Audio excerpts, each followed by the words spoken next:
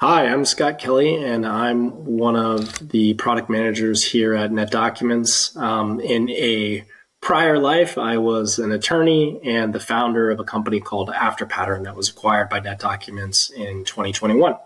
Um, and today I'm here to talk about uh, Pattern Builder, which is the technology based on Afterpattern that helps lawyers, uh, legal professionals of all kinds um, automate their workflows and their documents. Scott, thanks for being with me. I think that's actually a pretty good uh, explanation of of Pattern Builder and, and how it's integrating it in NetDocs. It's always difficult to explain or describe kind of what what has classically been called document automation. Mm-hmm. You know, but I, I think a, an automator of, of sorts to, to help with net documents. So um, I understand, you know, we're going to go into kind of how after pattern or how pattern builder i'm never going to get good at that but how, how pattern builder integrates into NetDocuments but then you guys have released recently um, data tables which to me is kind of a natural um, step for something like pattern builder of hey we're we're consuming a lot of information here. We're bringing in a lot of information. Let's make sure that people can reuse it. Um, yeah. And I'm sure that's a really, really simple way of, of, saying it. And I'm missing something. So I'm glad that you're going to be able to, to show us what it's all about. So whenever you're ready, if you don't mind, let's see under the hood here. Yeah. Yeah. So I'm really excited to be here today. And I, I think you hit on exactly um, kind of the, the promise, but also the, the difficulty of a, of a, of a solution like Pattern Builder, which is that it is um, a toolkit. You can build what you want. You can automate what you want. Mm-hmm. That could be a document. It could be your data. It could be your workflows. Um, and so sometimes demos like this are kind of interesting because what I'm going to show you is I'm going to show you a few use cases that I built out, um, you know, myself, mm-hmm. and we'll go through those. But you could build so many different things uh, fit to purpose for your needs uh, your challenges and your workflows. And so that's that's how I always like to start one of these demos. Is like, look, I'm going to show you a couple use cases uh, uh, that that kind of show you that toolkit in practice. Um, but really, uh, the only limit is is your imagination. So. Yeah, I, I, I like that because I, I, think of the the Meno's paradox um, in getting something like this. Like attorneys watching this need to know what the tool can do before mm-hmm. they can do the other things, you know, and and you kind of have to to see it, see some ideas, and then expand upon that. Um, so, real excited about this. Yeah, yeah, me too. So let, us kind of dig into a, a simple use case that doesn't involve data tables, the kind of new functionality we've added to Pattern Builder. Mm-hmm. And then we're going to transition into a kind of more complex use case, multi step use case that does leverage that great new capability. Um, Great. So first, let's orient ourselves. Where are we? We're in the NetDocuments platform, and I think that's a really important thing to start with. Is just saying like, look, um, this capability, Pattern Builder, unlike a lot of the workflow and, and document automation solutions out there, which are a spot solution, mm-hmm. um, this is built natively into the NetDocuments platform, a platform that's been built over 20 years, has amazing functionality for the management, the permissioning, the versioning, and doing work on your documents.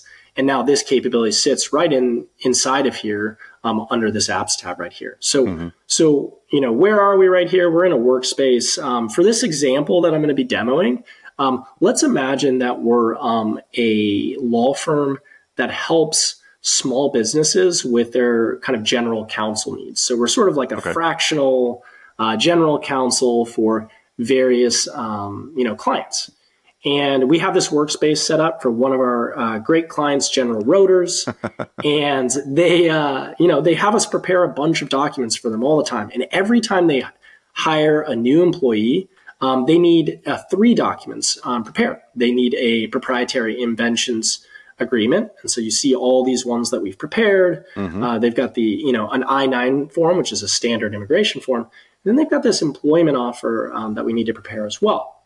And so instead of us going through and, you know, having to uh, kind of manually prepare these based on some precedent documents we have, with Pattern Builder, we can just go over to our apps tab and we can see the custom workflows that we've built out that are fit to purpose for this employment workflow, right? Mm-hmm. So we have this employment workflow. If we were in a real estate matter, maybe we'd have a set of real estate workflows. Um, you, you, can customize it depending on uh, what your needs are. But let's just go through an app and just kind of show you it in action. Okay. So here I go and I click on the app and it loads in a separate page. And this form that you're going to see is basically a form that is, um, you know, our firm has built out to our needs. So everything you see here um, is something you can specify via our no code editor, which we're mm-hmm. going to go into a little bit later.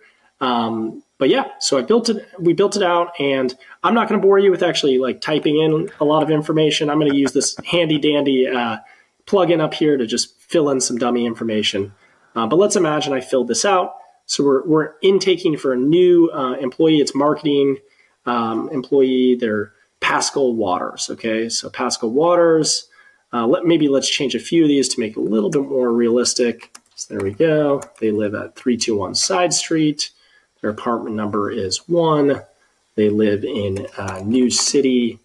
And let's go down here and maybe just change that social. So there we go. Let's go ahead and hit continue. And you'll see immediately one of the powerful functionalities of Pattern Builder, which is not only can you create your own customized workflows and forms, but those can include dynamic logic. So this is mm. a simple example of logic, but right here, let's say, you know, for some employment offers you generate, you need to include stock options. And so, you know, you input the salary, let's say, uh, but you also want to include stock options. So you've got that, and it dynamically reveals questions. Mm-hmm. Now, you could do this within a page, or you could have logic that actually says, okay, let's show an entirely new page of questions based okay. on this logic. Um, so let's just fill in some information there. Let's also add a sales commission in there, and let's go ahead and hit continue. Now, another really powerful thing about Pattern Builder is it's not just for automating like a single document. Mm-hmm. You can automate one, two, three, ten, a hundred documents all at once, depending on what your needs are. Uh, for this demo, we're actually just going through and we're going to automate the employment offer as well as these two optional kind of agreements. So we've got these two other ones, an inventions agreement and the I-9 form. Um, because we checked off the inventions agreement, uh, we have this question here, which is, does the employee, Pascal Waters, have prior inventions? I'm going to go ahead and say yes. Mm-hmm. And this will actually take us into what's called a loop. And I would say this is where, again, where a lot of automation functionality out there on the market, it kind of falls down with list and loop functionality, but that's mm-hmm. a really, really common need within the legal sector. I need to collect a list of assets. I need to collect a list of children, a list right. of properties, right? Right. Um, and the ability to actually be able to, you know, go through and say, okay, you know, here's one new item, the new new thing. That's what they invented. It's the estimated value of this. Hit continue and then start to create a list, just build a list um, based on uh, this functionality is really, really important. Uh, if you don't mind, let, let, me hang on that for a second, just to kind yeah. of, uh, uh, because that, that is really important. Um, I remember when I was automating documents back at, at my firm, one of the, the biggest difficulties was having an infinite number of blank an infinite yeah. number of defendants, an infinite number of plaintiffs when I was trying to do a, a warrant or something like that. And a lot of times I got to where the option of 10, I would think of a ridiculous number and say that that's how many times I, I go through this, this uh, potential. But having an infinite loop like this and being able to say, okay, we're going to just, do you want to add another? Do you want to add another? Um, is, is really important and it's something you don't necessarily think of on the front end, but when you get to that and you can't do it, it's extremely frustrating. Yeah, it, it, it really is. And it can be, you know, solutions that don't support it or do support it but don't do it well, mm-hmm. um, it, it, can add to uh, the building process a lot. You know, right. you, you end up creating essentially a fake loop where you have to add 10 versions of the the same set of question. And then, of mm-hmm. course, the first client you have will have 11 of those things. break your automation. Every time, every time. Yeah. The, the difficulty isn't doing the things that we think about. It's, it's doing those edge cases, getting those edge that's cases right. taken care of. And that's what this does. Yeah, and pattern builders really fit to purpose for for legal in that there's a lot of complexity, and so we give you the tools you need mm-hmm. um, to build. We think of ourselves a lot like Excel in that anyone can immediately get value out of Microsoft Excel, even if you don't know much about it because you can go in there, create a table, maybe add some columns, maybe a recipe, for example. Mm-hmm. But there's also deep, deep functionality that as you learn more, you can access to build even more powerful applications Um, so we take that exact same approach with Pattern Builder. Mm. Now here you'll see that um, we've reached the end of our session and we've actually generated three documents. Now we've got a couple options here. We can download it directly to our desktop. But again, because this is built directly into NetDocuments, we've actually um, not only generated these documents, but we filed them right back into NetDocuments exactly where the user wants them. So let's actually you know, take a look at one of these agreements that we've generated. Mm-hmm. We've got an employment offer here. It's piped in all that information about Pascal Waters, their salary, their benefits. We've got some, um, you know, provisions that have been dynamically added, like the stock options and the sales commission. If mm-hmm. they weren't there, if we hadn't checked off those checkboxes, this whole agreement would get dynamically renumbered um, without you having to do anything extra. So that's that's really important. Scroll down here, and yeah, we see all that information filled in, and we've also associated the right metadata with this document. So not only have we um, you know generated the document, but it has the right metadata and better yet, it's filed exactly where we want. So if we go back to our workspace, which is where we began kind of our journey, we'll see that under each of the appropriate kind of filters that we want, mm-hmm. Pascal Waters's uh, various um, agreements are showing up there. So there we mm-hmm. go. And there we go. So all three of those have been filed exactly where we want.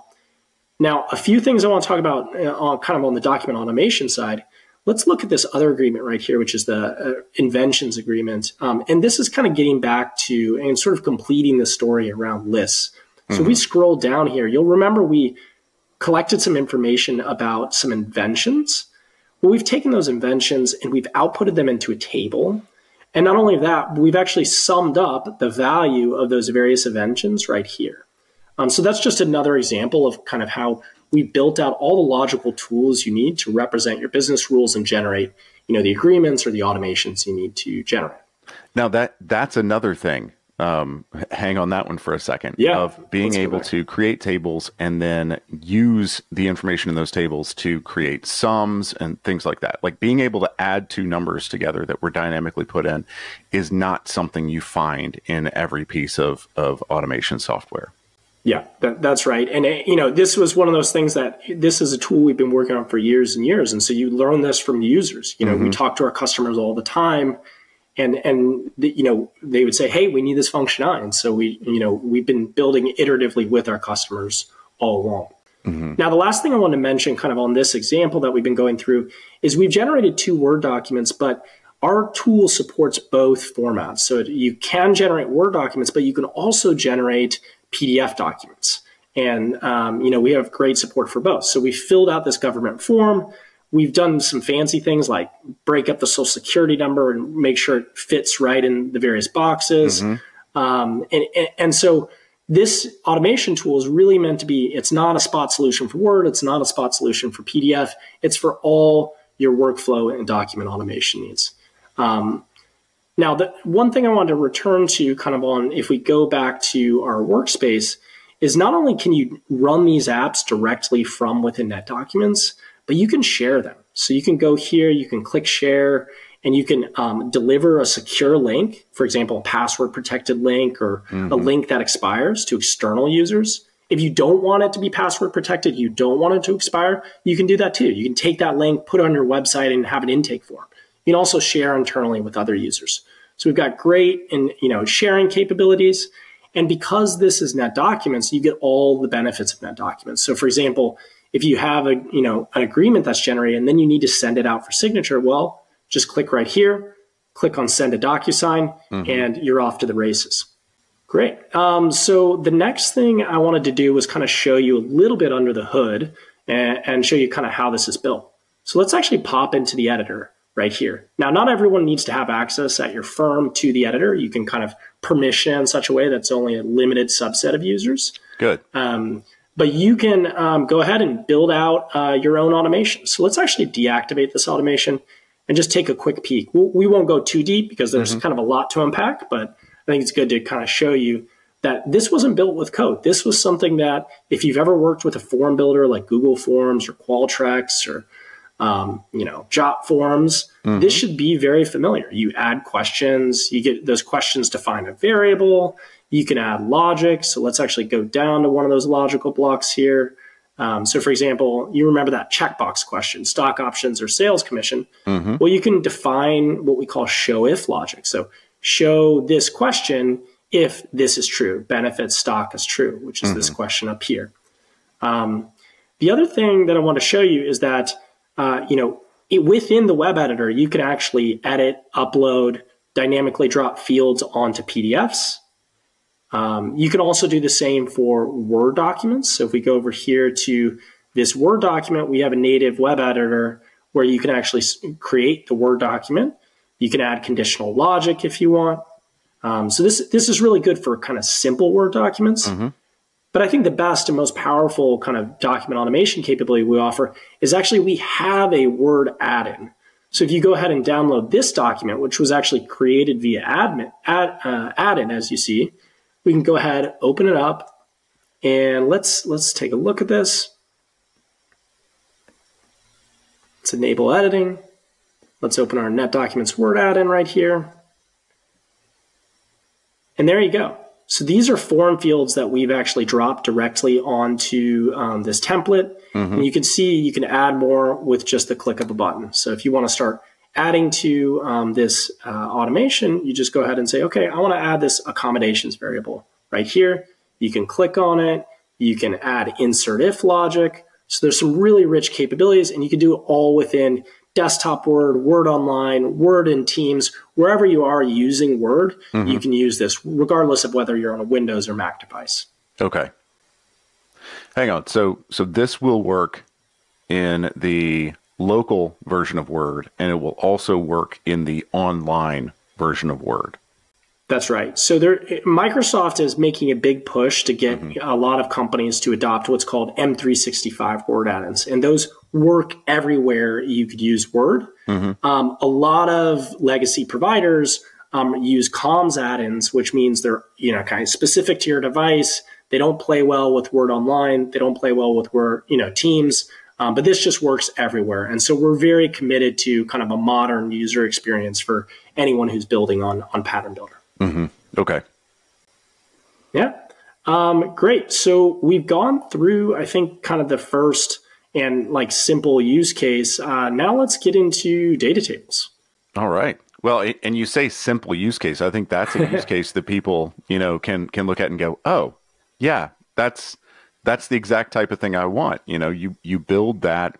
Um, I like that you call it apps instead of of like a guided interview or an intake or something like that because that's really more what it is at this point. But you build that that kind of guided interview um, sort of thing that lets you work through it and and create these documents dynamically um, in multiple documents. I'm glad you showed that too. Yeah, and and one of the things I, I always like to emphasize with this tool, which is is that while document automation is at the heart of what um, the tool does. And it's, you know, at the heart of what legal professionals do every day. It's mm-hmm. preparing mm-hmm. documents. Right. Um, it is not by any means what it's limited to. So if if you want to create an app that just automates a workflow or provides maybe specialized guidance based on some rules, maybe you have some complicated tax regulations you need to, you know, uh, understand, and mm-hmm. you can create a workflow around that. The other really common use case, which we're going to start with right here, is for intake. So you could send this form out again to a client or um, a customer, or you could uh, actually just do the intake yourself. Mm-hmm. But you mm-hmm. can have automations that aren't about um, generating a document at all. It's just about collecting data because data really, and, and we believe this firmly, data is what's at the heart of everything. It's at the heart of every document, every workflow. And so that's why um, we're so excited about this new functionality, which I'm going to show you in just a moment, um, that allows you to not only collect data, store it, reuse it, operate on it, you know, and and and really make that data, um, you know, power your your firm. Here we go. Um, this is real estate um, intake form. One of the things right away I want to show you is that you can click here, and you know, let's say you want to search a database and pull in information from it. Well, right here I can select a client, and this is doing a search into a uh, company's database that I have, and I'll show you in a moment. Um, but in this case, I don't want to uh, select an existing client to create this new matter for. Instead, I'm going to add a new client. And again, I'll use my handy dandy plugin and just you know fill in some uh, information here. So the company we're uh, creating a real estate matter for is uh, Guerrero Stark.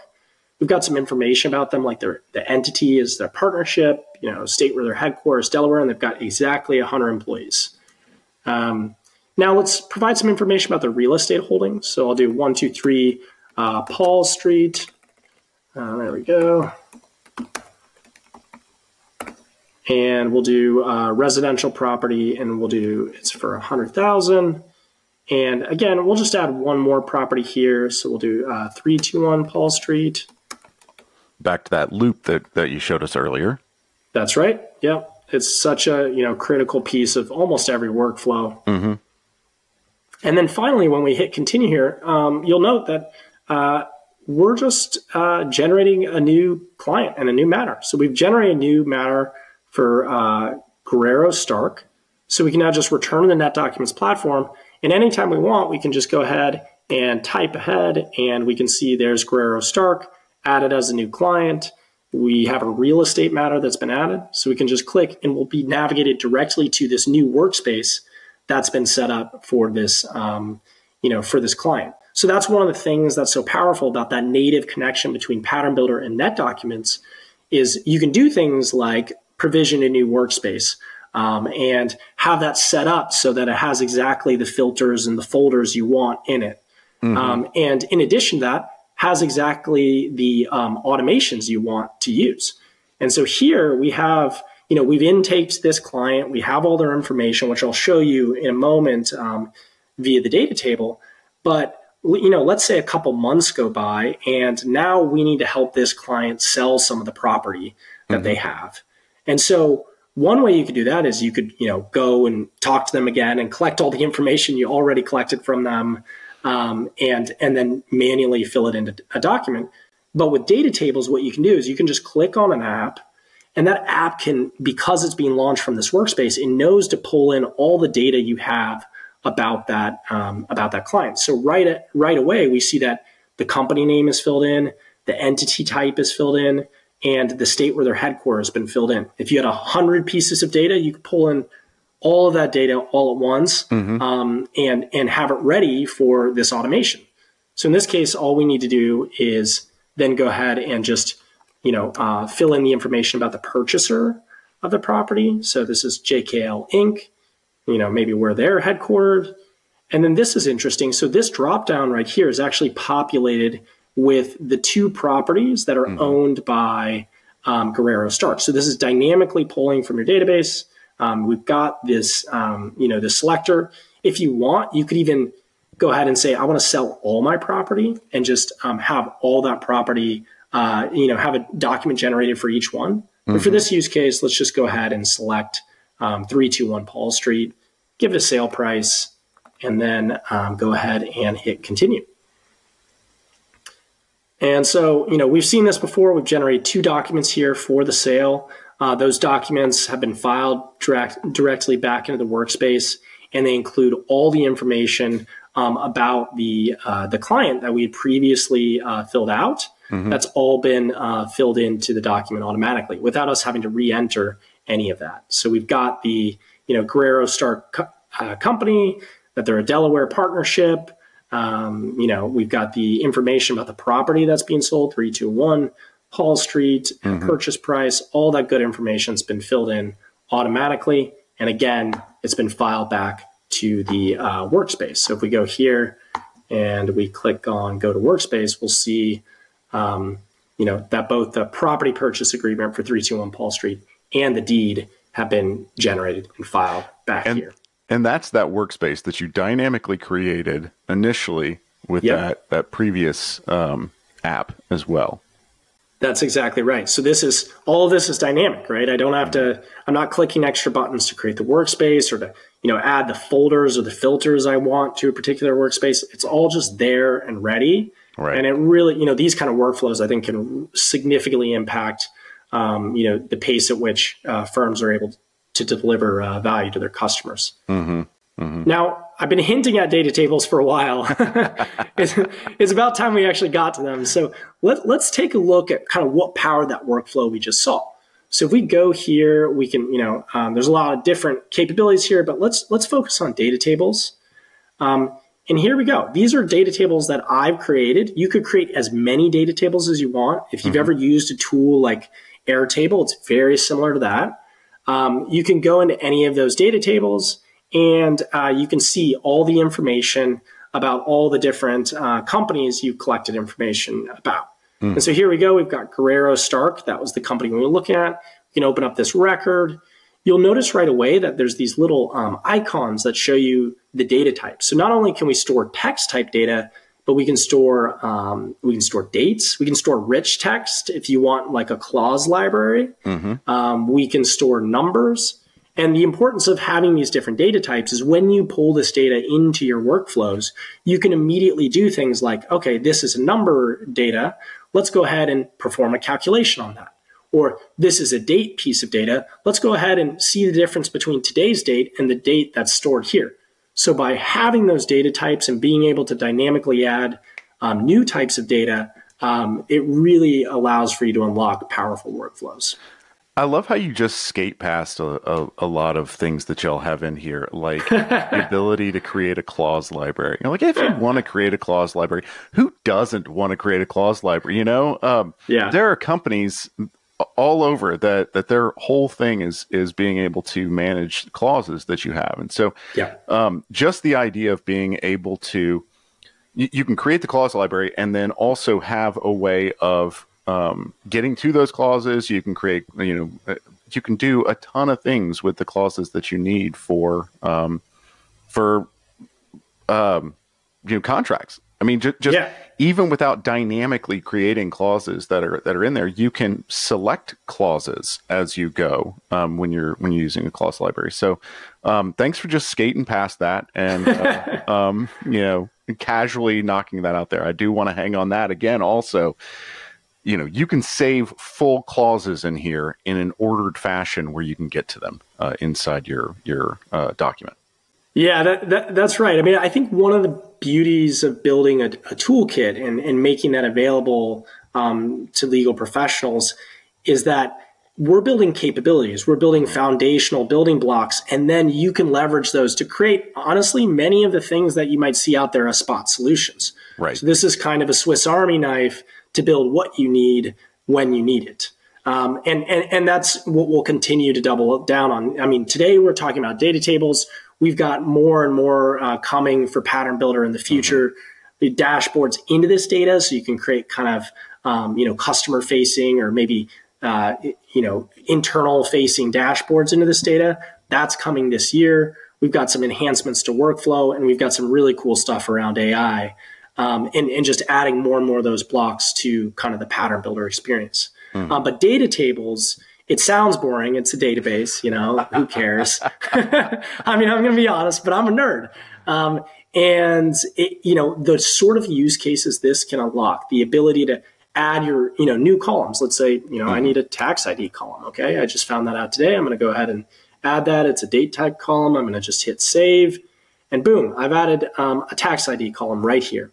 Um, the ability to be able to do that, to build as you go, mm-hmm. um, is so important because let's imagine um, if this weren't a tool that you could build with, and instead this was a solution. Um, if you wanted to add a new field, well, you better hope that the software vendor, you know, has that capability, or that they're going to listen to you when you ask them to add it, because uh, you don't have any way to do it yourself. But with Pattern Builder, you can do it yourself. You can customize your net documents experience. You can customize your workflows. Mm-hmm. And I think ultimately that's the future of, of legal. It's being able to, you know, put these tools into people's hands um, that actually are experiencing the issues firsthand so they can solve their own problems. So it's a, a tool to build tools.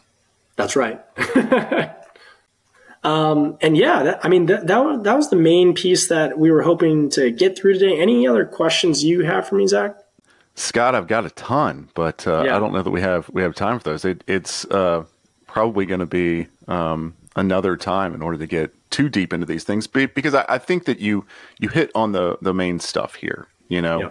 the but I do want to say that these data tables, although uh, to some of us they do look sexy, um, to to others, they they don't necessarily. But with this sort of thing, you can uh, um, you can implement a database that can track most anything here. You know, um, I, I think when looking at the connection between Pattern Builder and Net Documents, and the fact that it is a automation platform. I, I, don't even want to say document automation platform at this point, but it's an automation platform built into a content manager as opposed to a client manager or a matter manager kind of makes people go, well, I, I don't, I won't necessarily have all the information, but these data tables mean that you can put all the information you need about clients, about potential clients, even about matters that you have, about cases. You, you can, you know, the, the,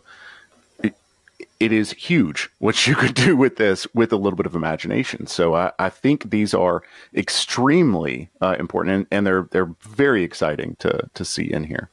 Yeah, and and I think to touch on kind of the point you just made, it's important to note that yes, you can have apps that put data into these tables, right? Mm-hmm. Or you can actually go into a particular table and you can add new records uh, yourself if you want to. But another really critical and common use case that we're seeing is folks are like, look, I've got data here, I've got data there, I've got data in all these different places, um, but I need it now in one place so that I can actually use it, act on it, and and you know really deliver uh, my services at scale. Mm-hmm. And so data tables lets you do that. Data tables have a very robust and open API. So okay. if you have Salesforce data, if you have you know a law practice management system where you need to kind of unify your data so that you can then automate your documents or create a re, you know a reviews and approvals workflow or whatever you need to do you can use data tables to store that data, act on that data, and, and ultimately automate.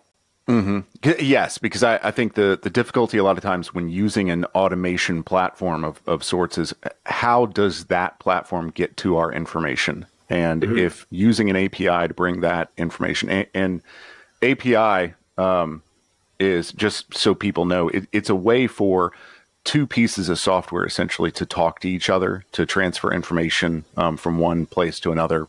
Uh, I mean, like that, I'm sure other people can explain it a lot better, but um, it, it's a way of getting information into these data tables from disparate um, other pieces of software. And so being able to collect that information, put it in the place that the automating software can get to is, is huge because Zapier can't get to everything. Yeah. You know, and, and Power Automate can't get to everything and you have to be able to bring that information into a, a centralized location. Yeah, and, and one thing I would sort of end on, I think, is that you know there's a lot here. There's a lot to kind of take in, of course. Um, but the the beauty of a platform like NetDocuments that has, you know, stores billions of documents and has you know thousands and thousands of firms using us uh, all across the world is we have a really really um, robust partner ecosystem. Hmm. so even if you look at something like this and you're like you know what? I, I don't think i'm ready to, to build a data table or build a document automation well you don't have to. We've got partners who can help you. They can build your document automations. They can build the kind of the data store that makes sense for you if you need to integrate different pieces of software into this, mm-hmm. um, they're ready to help. And so I think that's the power of the platform is that we have so many builders who are building on top of NetDocuments. It's not just us as a company, um, it's our partners. And now with a capability like PatternBuilder and data tables, um, it's you. You can build NetDocuments too.